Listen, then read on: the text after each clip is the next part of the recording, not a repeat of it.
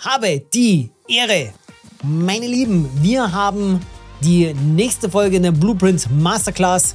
Heute mit dem Thema schwermodulare Rahmen. 1 pro Minute, nicht 10, 1 pro Minute. Da kommt schon genug raus bei. Worum geht es in dieser Serie? In dieser Serie soll es darum gehen, dass du eine Anleitung bekommst, wie du 10 oder 1 Teile pro Minute von mindestens zwei Ingredients gebrauchten Werkgegenstände in Satisfactory dir einen Start zauberst. Soll auch dazu dienen, dass, wenn du Probleme hast, äh, deine Fabrik größer zu machen, dass du das ganz einfach hochskalieren kannst. Sagst du jetzt, ich brauche jetzt nicht 10, ich brauche jetzt 20, ich brauche 100, 100 Zeile die Minute von dem und dem. Oder ich brauche jetzt 1, 2, 3, 10 davon. Klatsch das 10 mal hin, baust du hin. Und das Beste, es gibt auch noch Blueprints und ja, am Schluss gibt es dann nämlich noch was ganz Besonderes. Wir brauchen nämlich auch noch Alternativrezepte, aber wie du an die rankommst, das sage ich dir dann am Schluss. Und jetzt schauen wir uns erstmal kurz das Rezept und die Zahlen ein bisschen an. So, von den Zahlen her jetzt eigentlich kein ganz großes Hexenwerk. Auch so von den Eingangszahlen. Hier haben wir 66,33. Ich würde das aber jetzt an deiner Stelle mit 67 rechnen, beziehungsweise ich habe es natürlich in dem Blueprint dann auch mit 67 reingeschrieben. Hier mit einem Eisen, selbstverständlich genau dasselbe, 82 Eisen pro Minute. Sag jetzt mal, das ist überhaupt gar kein Problem. Genauso wenig wie die 72 Kalk Erz, die du da brauchst. Oder nee, Kalk, Kalkstein, Entschuldigung, Kalkstein brauchst du hier. Wir haben ungefähr 74 Megawatt, was du hier brauchst. Ich würde allerdings ein bisschen mehr rechnen. Rechne mal lieber mit so 80 ungefähr, bloß dass du da so eine Ahnung hast. Und wir brauchen fünf Alternativrezepte. Da werden wir dann nachher gleich nochmal in Einzelnen drauf eingehen und wie ich dir schon versprochen habe, am Schluss gibt es dann die Aufklärung, wie du da ganz einfach zu den Rezepten dazu hinkommst.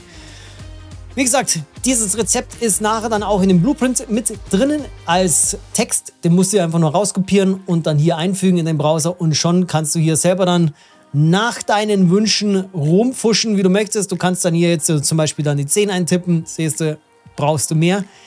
Es können allerdings auch natürlich auch andere Alternativrezepte, zum Beispiel jetzt für den Stahlbahn, darfst du natürlich auch das Stahlkoksrezept hernehmen. Wenn dir, wenn dir das geläufig ist, da brauchst du dann deine Kohle nicht reinmachen, aber das bleibt dann dir überlassen, wie du das gerne machen möchtest. Wir schauen uns jetzt mal das Ganze nochmal kurz von oben an und springen dann gleich zu den schweren modularen Rahmen rüber. So, das Gelände ist ja doch relativ groß. Wir haben noch so einige Rezepte vor uns. Auch jetzt in nächster Zeit werden dann ein paar weniger Rezepte zur Auswahl kommen, weil auf dem Weg hin zum Motor müssen wir natürlich noch zwei andere Sachen machen. Bloß das jetzt mal so am Rande aber ich lasse euch natürlich so lange wie möglich noch die Wahl beim Abstimmen. Deshalb auch unbedingt unten reinschauen. Da habe ich in die Beschreibung die nächste Umfrage reingemacht.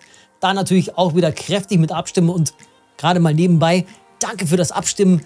Ihr seid da echt wahnsinnig äh, brutal am Abstimmen. Gerne weiter so machen. Ich freue mich natürlich über jede Stimme, die abgegeben worden ist.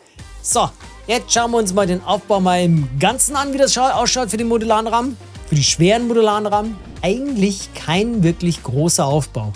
Das ist wirklich erstaunlich, was mit den Alternativrezepten hingeht. Wir gucken uns das jetzt vom letzten bis zum ersten die Maschinen einmal durch und äh, es wird eine übertaktete Maschine dabei sein.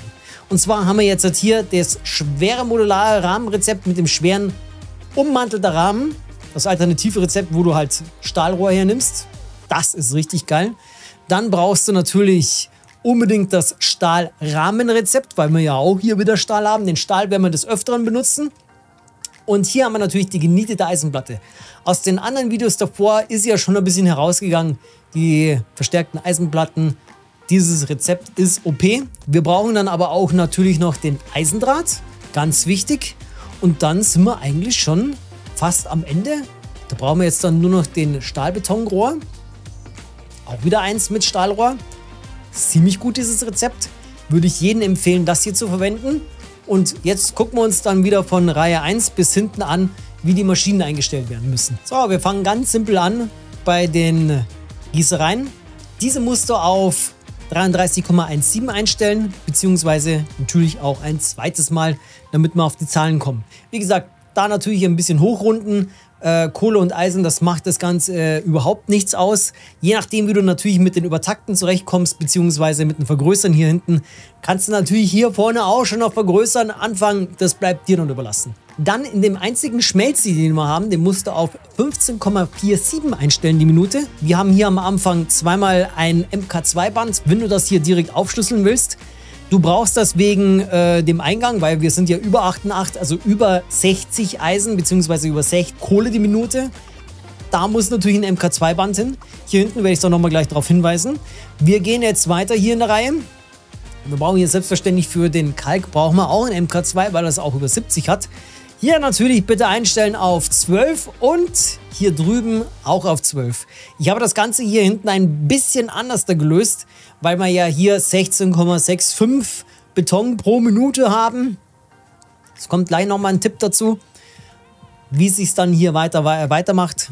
Und zwar habe ich jetzt hier an dem äußeren, habe ich noch meinen Splitter hingemacht. Hier einen Fusionator, weil wir haben ja jetzt hier viel zu wenig auf diesen einen. Du hättest der, oder man könnte natürlich den hier jetzt äh, ein bisschen stärker einstellen, aber 16 wirst sehen, da geht nichts. Da müssten wir ja höchstens wieder übertakten, heißt also hier den auch wieder auf 12 einstellen. Genau. Und hier kommt dann jetzt die Hälfte hier rüber. Also von den 12 kommen 6 rüber, 12 und 6. So ein bisschen mehr hier drüben, sprich da hinten wird es ein bisschen fehlen am Anfang.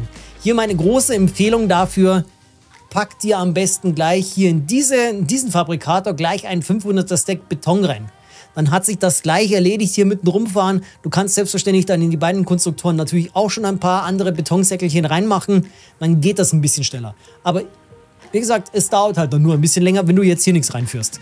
So, jetzt geht es hier weiter mit den übertakteten ersten Stahlrohr.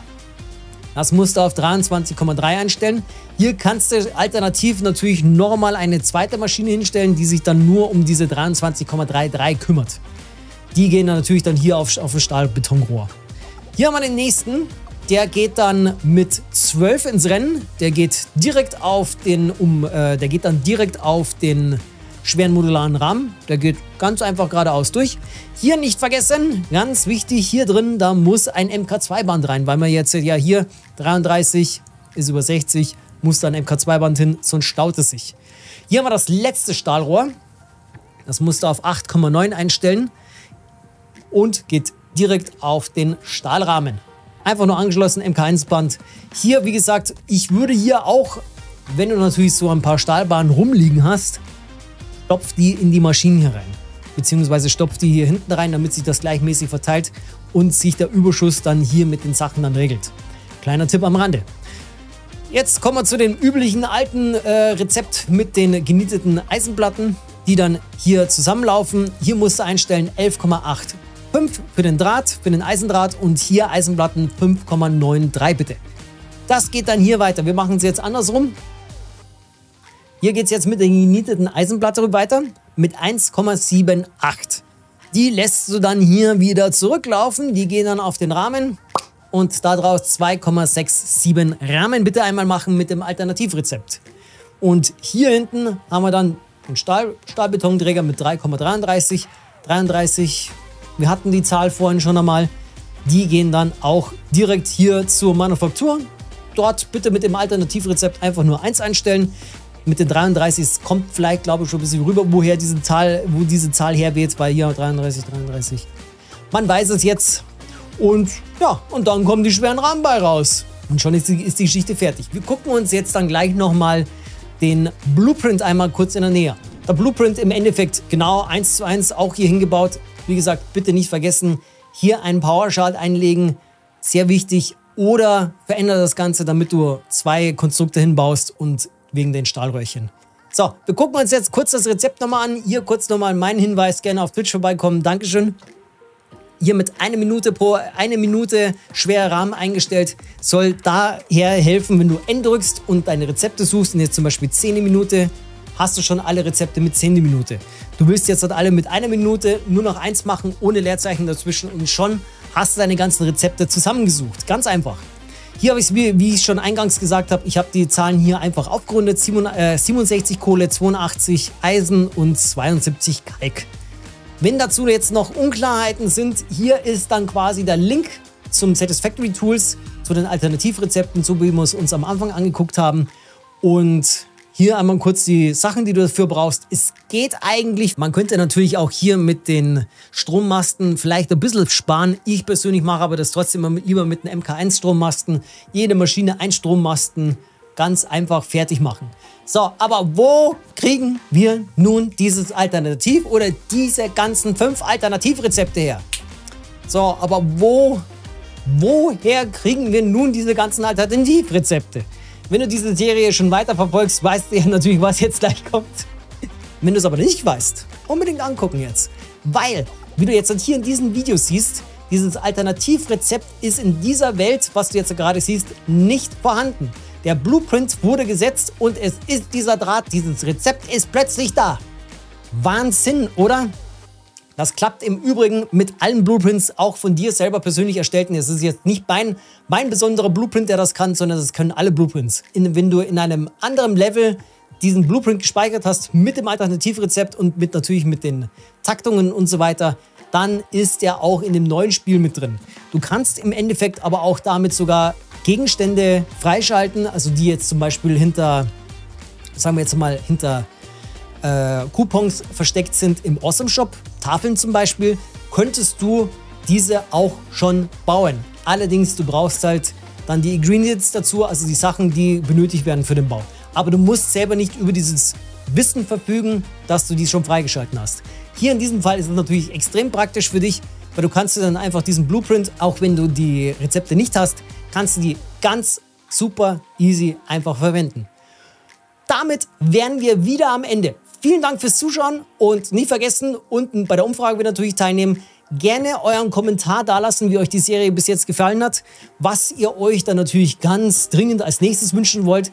Vor allem auch an besonderen Teilen, weil jetzt wird es langsam ein bisschen kritischer mit den Sachen. Wir kommen langsam in die Phase 4 Lift-Teile äh, hinein. Also sprich die etwas komplizierteren Geschichten. Ich mache mir selber auch noch ein bisschen den Kopf drüber, wie ich das am besten für euch rüberbringe, sodass wir einfach nur ein Bild von vorher einfach nur kopieren müssen, den dann in ein Setup einfügen und fertig ist die Sache. Weil da kommt demnächst noch ein anderes, zum Beispiel die Computer. Da habe ich auch was vorbereitet. Da gibt es äh, gibt's tolle Überschneidungen mit bisher bestehenden Prints. Bleibt gespannt, nicht vergessen und unten drücken, weißt du Bescheid.